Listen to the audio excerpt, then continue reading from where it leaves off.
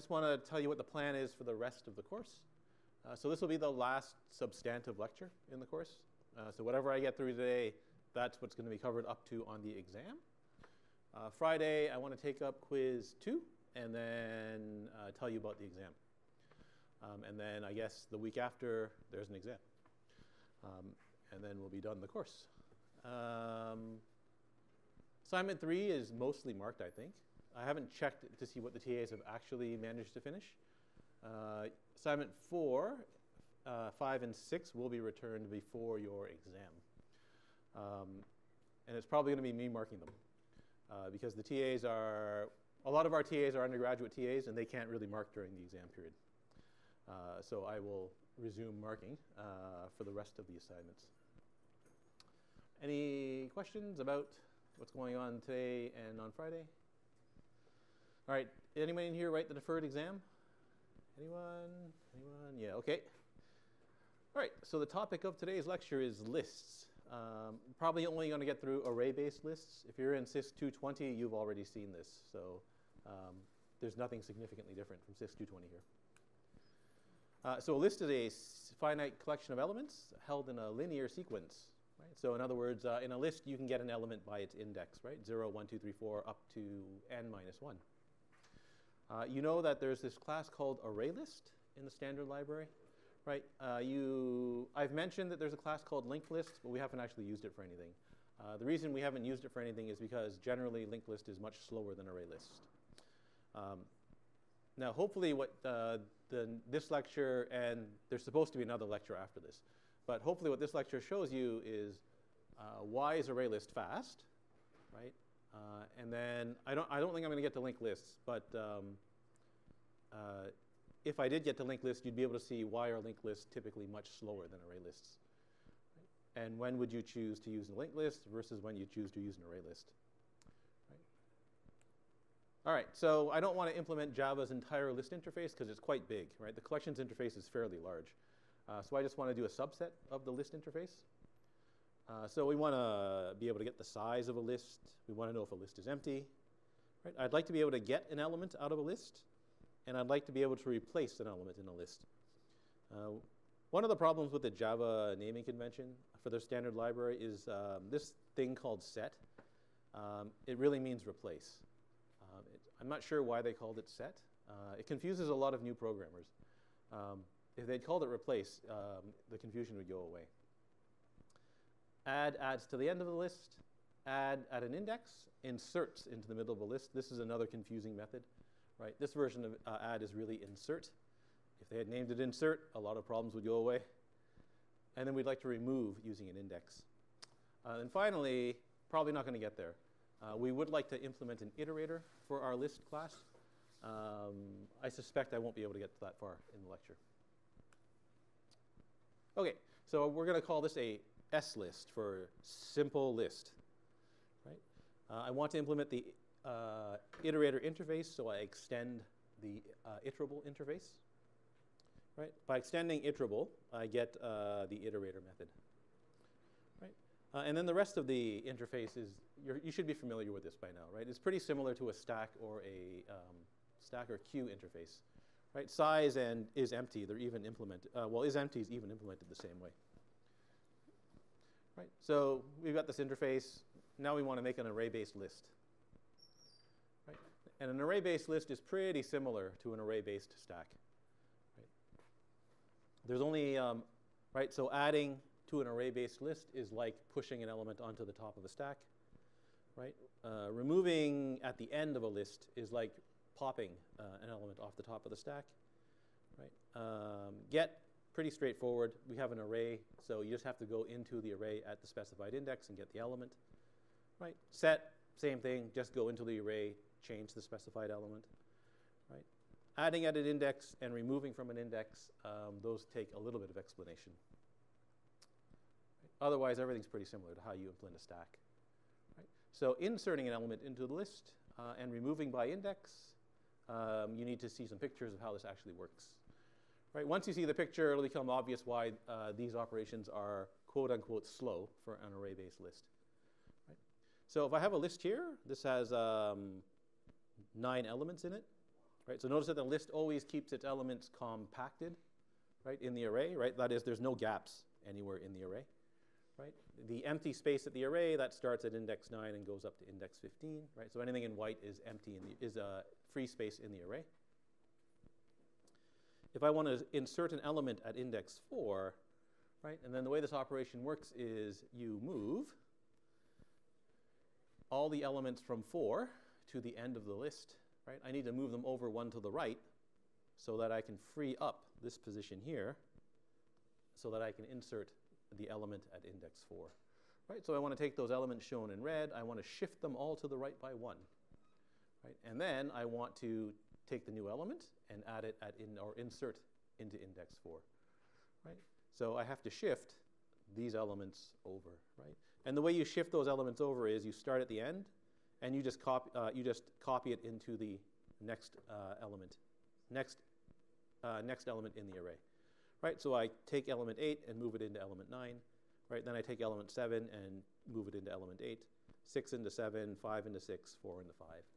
Right, so if you insert at the front, you have to move all the elements over one position to the right. Right, and that, is, uh, that has complexity big O of n. Right? So inserting into an array-based list um, has, complex, has worst case complexity big O of n. Right? Uh, and so uh, if you have to, if you have a list, if you have a problem that involves a list and you have to insert a lot into the list, then you may not want to use an array list. Right? There may be a better option. Okay, uh, in, uh, the, that add method, so add where you specify an index is a bit odd because uh, it allows you to add at the end, right? But when you add at the end, you need to specify an index whose value is 10, right? And 10 is not a valid index for this, uh, for this particular list, right? So you're allowed to specify the index that it's one greater than the size, uh, sorry, that's equal to the size of the list um, for this particular version of add, right? Which is slightly unusual because that index is technically not valid. Fortunately, if you're adding at the end of the list, you don't have to implement that yourself, right? You just ask, is the index equal to the size of the list? If it is, just call the other add method, which automatically adds at the end of the list, and let it do the work. Right? So that turns out to be easy to handle. Now, if you want to remove an index, so here I've got a list of 11 elements, and I'd like to remove the element at index 4, right? So I want to take that element and uh, take it out of the list and return it back to the caller. Right? I don't want to leave a hole in the list. Right? So I don't want to leave an empty spot in the array. So what I have to do is I have to take all the elements after the one I'm removing, right? So everything's shown in red, and I have to shift them one position to the left, right? So I have to shift them one forward. So the way you do that is you start at the front, right, and move it one position to the left, right? So take element 5, copy it into element 4, then 6 into 5, 7 into 6, and then uh, keep on going until you do 10 into 9.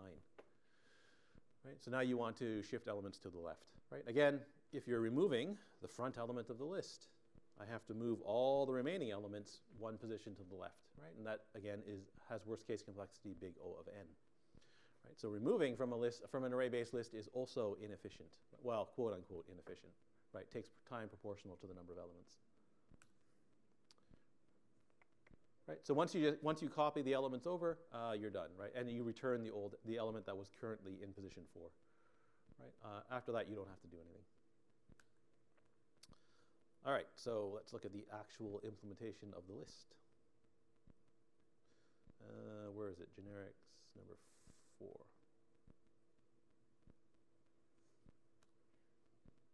Okay, so those two pictures that I showed you should make it clear uh, that inserting or removing an element into an array-based list has worst case complexity big O of n. Right, again, because you're moving at worst n minus 1 elements. Right. So the implementation, well, it's going to look a lot like our stack. Right? So for an array-based list, I have an array. Right? The type of the array, uh, the, well, the element type is big O object. Right? Remember, I can't use E because uh, Java says that you can't make a generic array. Right? So I have to make a list, uh, an array of type big O object. Um, and we have the size, or the number of elements um, that are in the list. So exactly the same um, as for a stack. Right? The constructor, exactly the same as for a stack. Right? Make an array for ARR, right? set the size to 0. Right? Returning the size is easy because we have, sorry, returning the size is easy because we have a field that represents the size. Right? Adding an element to the end of the array, well, that's just like pushing an element onto a stack. Right? So ignore the if statement. Right? If I want to add an element to the end of the array, right, I know that the first free index is just the size of the list. Right? So I can just set the element at this dot size to elem. Right? And then, of course, don't forget, add 1 to the size. Right? Now, uh, what might I have to do if the array is full? Well, I have to expand the capacity of the array. How do I know that the array is full? Well, the size of the, uh, of the list is equal to the length of the array. Right? And if that's the case, you just use arrays copy of right, to copy the current array into a new array having twice the length right? And just reassign that array back to this ARR, and away you go, right? So add is basically the same as push for stacks. Right, again, if you wanted to, you could use a loop here, right? But why use a loop if arrays copy of is going to do it for you anyway? Okay, uh, I now want a, a, method called check index because um, setting, getting, removing, and adding by index all involves an index, right? I don't want to repeat all of the um, error checking code. So I'm going to make a separate private method that does the error checking for me. Right? Check index checks if that index is between 0 and the size minus 1. Right? So if it's less than 0, we throw an exception. If it's greater than or equal to the size, we throw an exception. Right? And this saves us from having to repeat these if statements all over the place. Okay, so get's easy. You just check the index. Right? If the index is OK, just go into the array at that index and return the element. Right? We need the cast here because this array has type big O object, right? or the elements in this array are big O object. So I have to cast to type E because our generic method returns the element type. Right? For set, uh, set uh, overwrites an element and returns the element that was overwritten. Right? So you get the old element. Right? So how do I get the old element? Well, I could just call get right? Or I can go into the array and get it myself, right? By calling get, though, I get the checking of the index for free because get's going to check it for me anyway, right? So I don't have to repeat the call uh, to check index here. I can just let get check the index for me, right? And that gives me the element that's sitting at that index in the list, right? And now I just overwrite it, right? So just uh, set uh, the element at that index in the list to elem, and then return the old element. So get and set, pretty straightforward. Uh, add, uh, add an index is slightly more complicated, right? So remember step one, in this particular method, you're allowed to add at the end of the list, right? So in other words, you're allowed to use an index that's one greater than uh, the normal valid indexes, right? So that's the first thing I'm going to check for, right? So if the index is equal to the size, I just want to add to the end of the list. But the method add, uh, where you just pass in an element, already adds at the end of the list. Right? So I can just use that method to do all the work for me. And then I return because um, that method actually adds the element and incre increments the size. Right, so I don't want to do anything else in that case. So we return. Okay, so if the index is, uh, is between is not uh, equal to the size of the list, then I have to check it. Right? So if the index is invalid, that'll throw an exception, which is good, right? If it's valid, now I have to do this shuffle over to the right, right? So move elements at indexes size minus one, right? So starting at the end of the list, right? I'm going to move them one position forward in the list, right? So starting at index size minus one, I'm going to move that element to this uh, to element size, uh, at, at the element at index size. Right? Size minus 2 is going to go to the element at index size minus 1, and so on and so on and so forth. Right? So starting at size minus 1, right? so i is going to start at size minus 1. Right?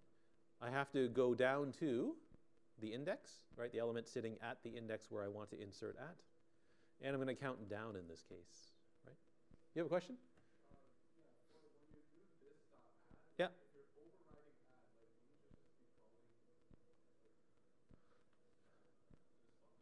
No, this version of add only has one argument. This one has two. So it's going to call the other add. It's going to call I, that, oh, wait, that add method. Right, yeah. Okay, so starting at the end of the list, or the end of the array, no, I guess the last element in the array, right? I'm going to move them all forward one position, right? So I'm going to move uh, this element, or copy this element, uh, sorry, copy this element into the next position in the array, right? So the next position is just i plus 1, right? So you should check this. Can this actually throw an exception, right? Because you're using an index in an array, right? And the concern when you're using uh, an index for an array or a list is, is the index valid, right? So is i always valid? Uh, well, we know the index is valid because we got past check index, right? So that's fine. Size minus 1, well, that's valid too for a list, right? Because the size is always less than the length of the, well, the size is equal to, at most equal to the length of the array, right? So length minus 1 is fine, right? So that's no problem. That works, right? Uh, now, uh, what about that, right? So if i is equal to the size minus 1, right, and I add 1 to it, I end up with uh, this dot size, right?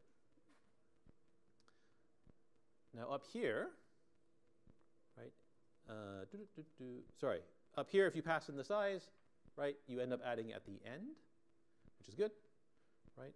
And uh, so that might expand the array, right? Now the question is, is, is this index always valid? Right? So you should think about that. There's a little hint down here, right?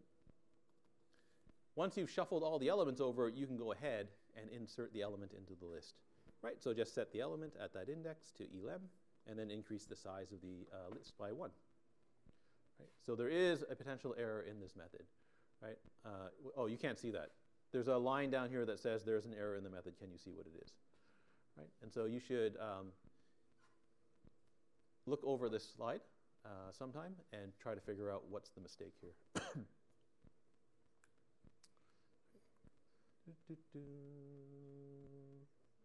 Anybody know what the? I guess we can do it now. Does anybody know what the snake is?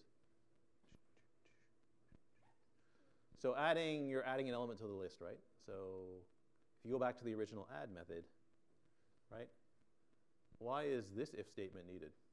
Because you might run out of space in the array, right? You're in the exact situation over here, right? When you go to add something into the array, uh, into the list, you might have run out of space in the array, right? So you need to potentially expand the size of the array in this method as well, right? Which you should do right here.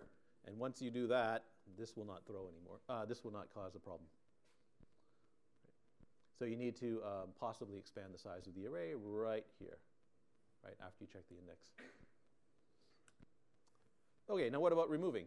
So removing, uh, I'm just going to shuffle the elements one forward uh, in the array. Right? So step one, right, get the element uh, that's currently sitting at the index, right, because I need to return this element back to the caller. Right? Again, get helpfully checks that the index is valid for me. Right? If it's not, it throws an exception, so I don't have to do the error checking myself here. Right? So if that succeeds, move the elements starting at index plus 1, right? So that's the, that's the element 1 past the one I want to remove, right? And move it forward in the list, right? And then go to the next element and move it 1 forward, and then go to the next element and move it 1 forward, right? The position 1 forward is just i minus 1, right? And you're just going to set that to the element that's at index i. Right? And so that shuffles them all forward one position um, to the front, right? Can this throw? Well, what can i be? So i can be up to index plus 1, right? Um, and then uh, it's less than the size, right? Less than the size, right? So if i is always less than the size, right, then i is definitely a valid index, right? Uh, index is valid index. So index plus 1 is valid as long as um, uh, index plus 1 is less than uh, the size right? So in other words, it's always valid, right? i is always valid here, right?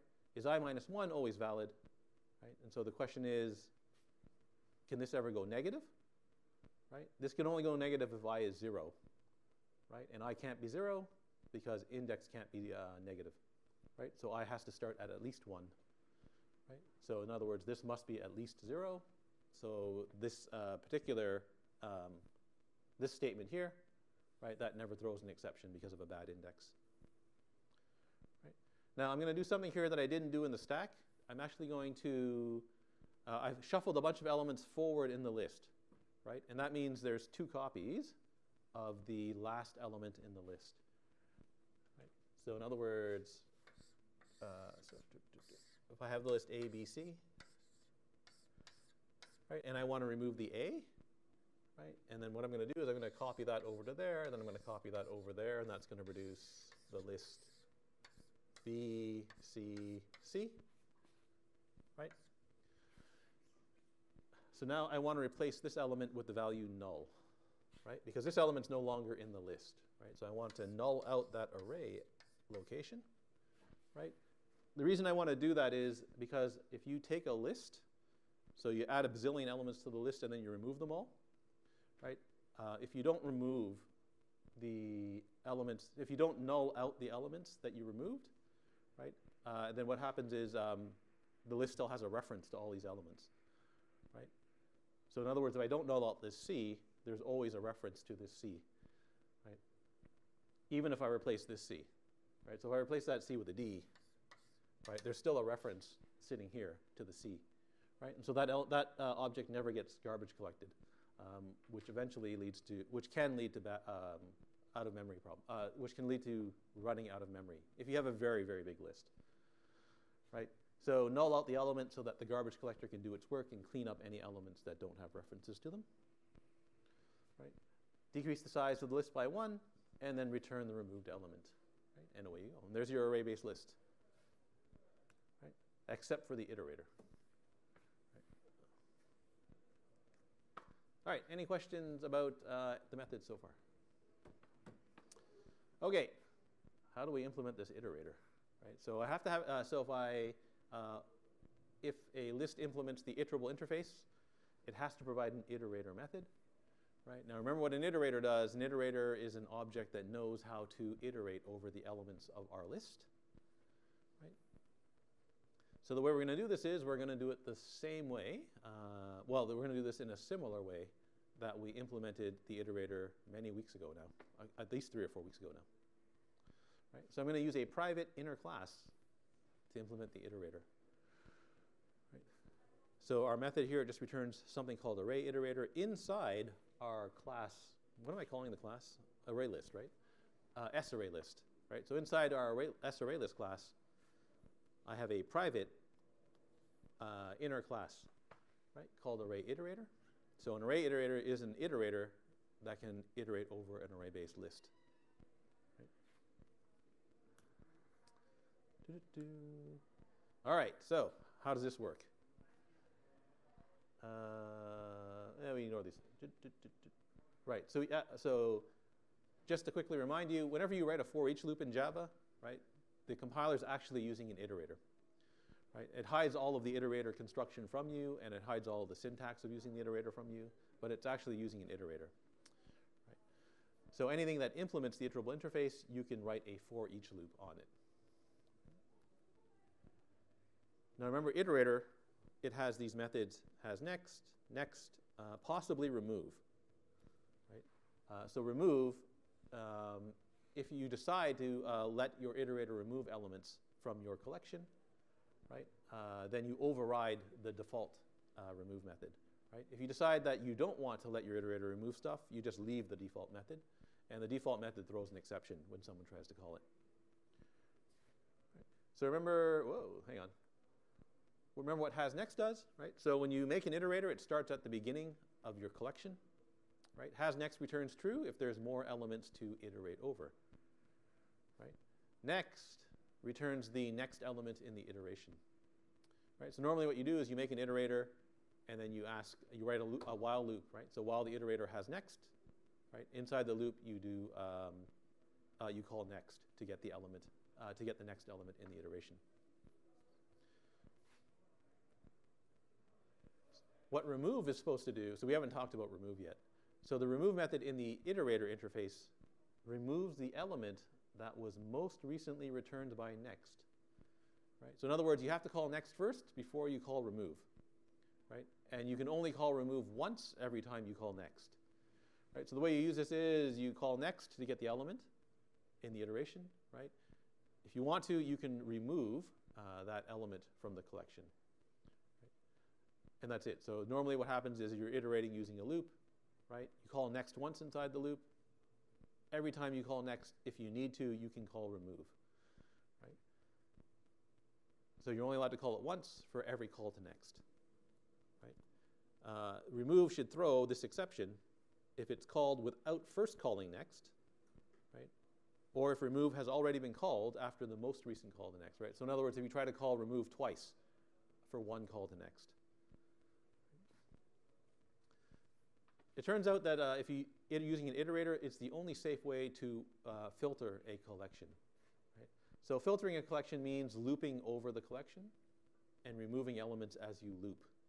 Right? So in other words, if you try to write a for each loop on a list, right? So for each ls, so for each string s in this list, right? Say if the string length is less than two, you call you call the remove method on the list to remove the element.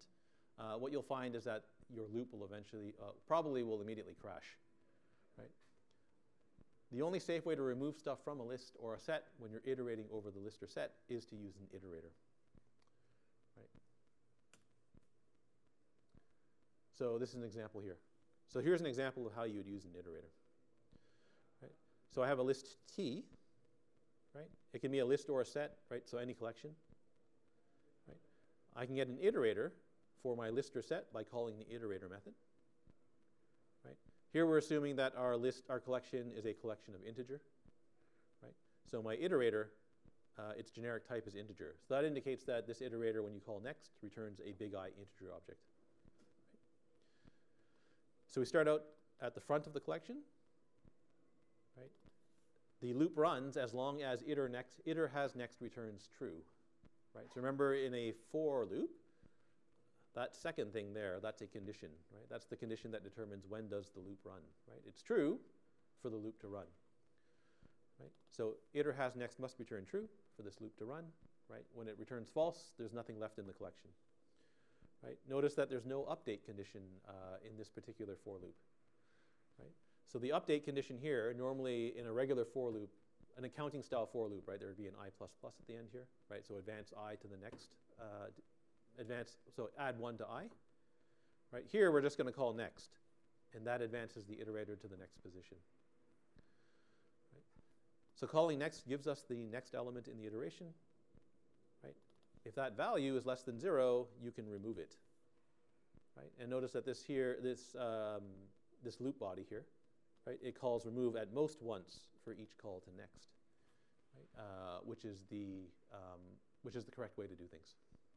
Right? So that's how you filter um, a list or set using an iterator. So for an array iterator, uh, so I guess for a list iterator, um, you can think of the iterator as sitting between elements. Right? So most of you, you know, you use like Word or something like that, right? Some sort of text editor. You know that there's a blinking cursor, right? If you've ever looked closely at the cursor, right, you'll notice that it's usually between two letters, right? So my cursor here is between the Y and the I. So for an iterator on a list, you can think of the iterator as being between two elements at all times, right? So here, my red arrow, that's my iterator. Right? So that's sitting between indexes 7 and 8. Right? The thing that it's in the thing that it's immediately after, right? So it's immediately after the element at index 7, right? We're going to store that index in a variable called previous, right? And then the element that's immediately after the iterator, right? So the element at index 8 we're going to store the index in a field called next. Right? So calling, so with this iterator, if I call next, right, it's going to return the six, right, the next element in the iteration. Right? Previous then, so previous is the index of the element that was returned by the previous call to next, right, the most recent call to next. Right? And next is the uh, index of the element that will be returned by the next call to next. Right? So when you call next, the iterator advances one position, right? So it moves from here to be between the 6 and the 10, like that. Right? So calling next returns the 6, advances the iterator to the next position. So it's now between 8 and 9. right? When the iterator hits the end of the list, right? So when it there's a total of 15 elements in this list, right? When it gets to the end of the list, right? Not the end of the array, right? The end of the list, right? Has next at this point returns false, right? There is no element here to return. Right? If you call next with this iterator, it throws an exception, right? Because there's no next element in the iteration.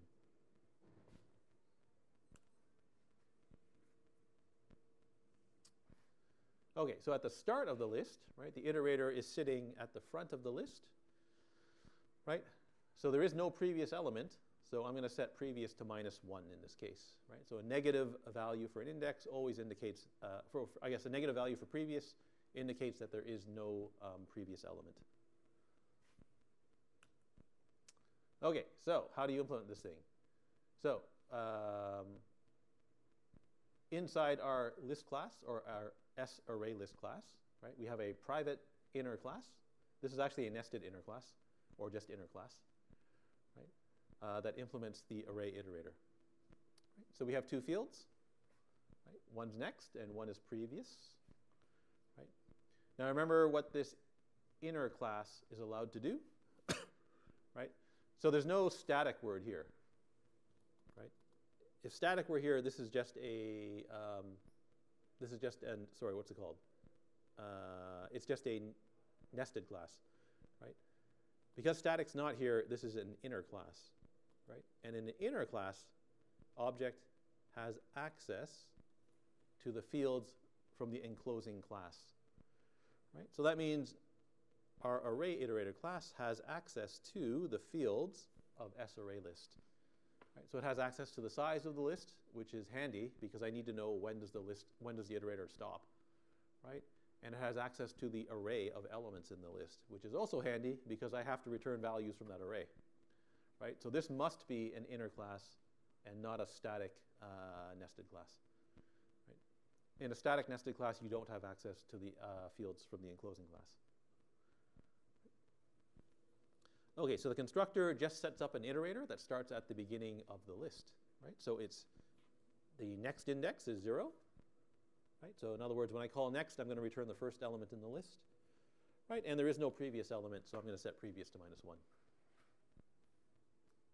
Right? So how do you implement has next? Well, it's pretty easy, right?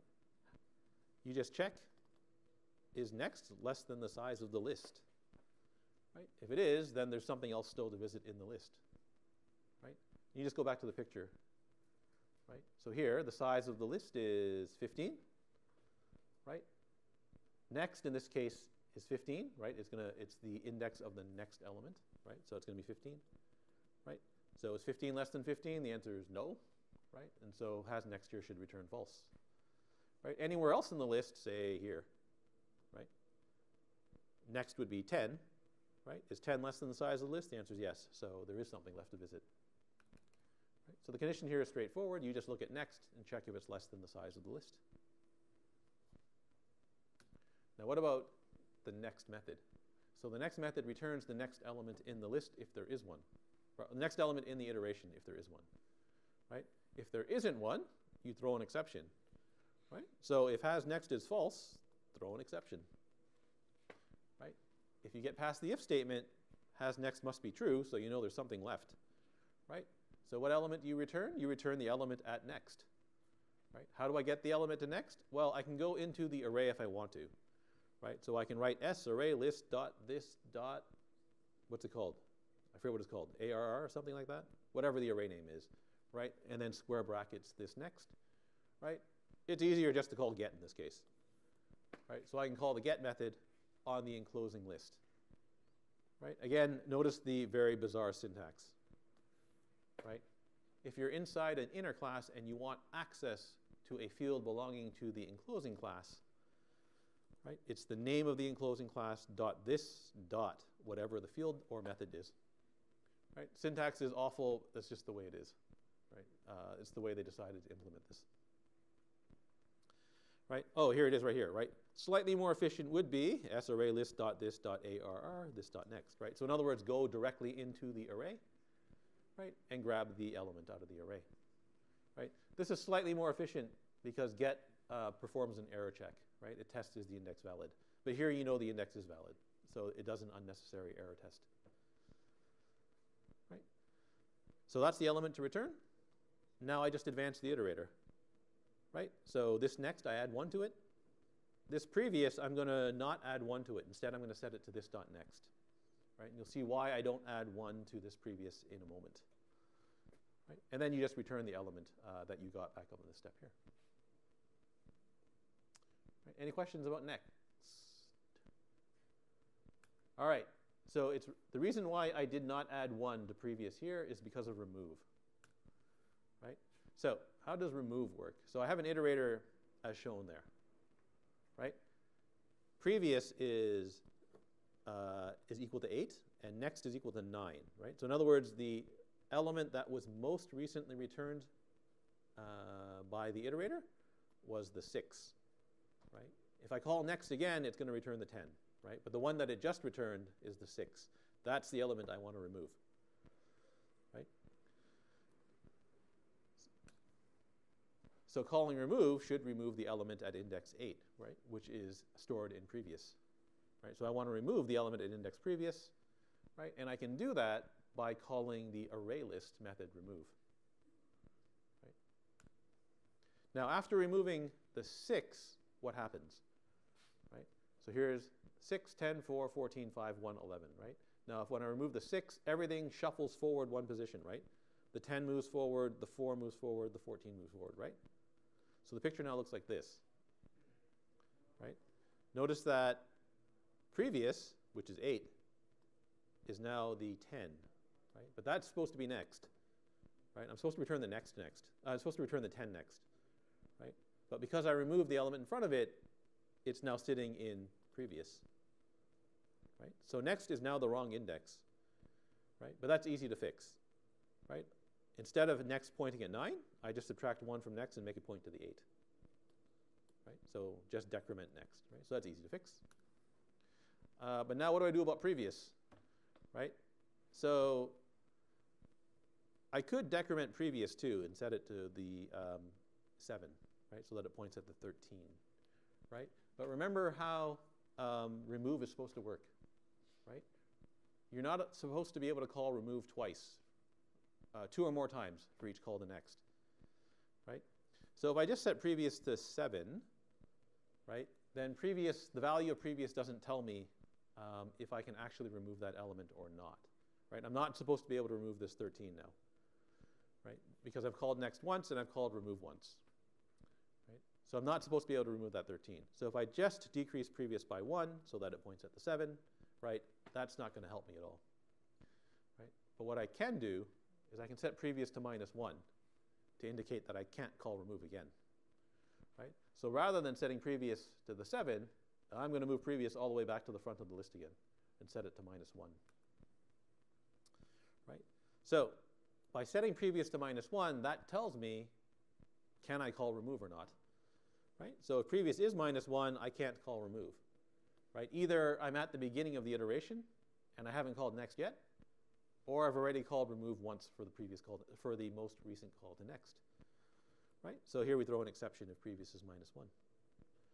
Otherwise, just remove the element, right? Removing the element straightforward, you just call remove, right? Again, SArrayList dot this dot remove, right? The awful syntax, right? So just remove the element at that index, Right? decrease next by 1, right, because of this picture here, right? So I want to decrease next by 1. And then make set previous to minus 1, right?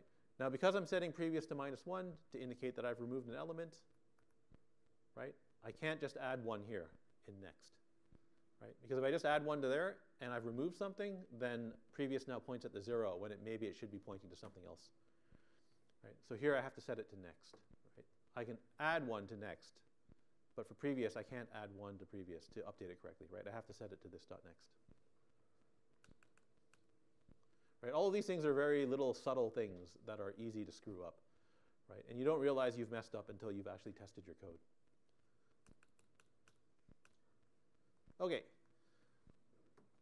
Uh, I don't know if I want to start this. Uh, I think I'm just going to leave singly linked lists off and let your data structures instructor tell you about singly linked lists. Um, so we'll stop there. Uh, any questions about today's lecture or the assignment or anything else? No? All right. So on Friday, I will take up quiz two, tell you about the exam, and we'll end the course. So there's no lecture on Monday because I stupidly committed to something, uh, not realizing that there was a Monday lecture. So we're going to end the course one lecture short. But that's okay. All right. Super. See you on Friday or this afternoon or tomorrow in office hours.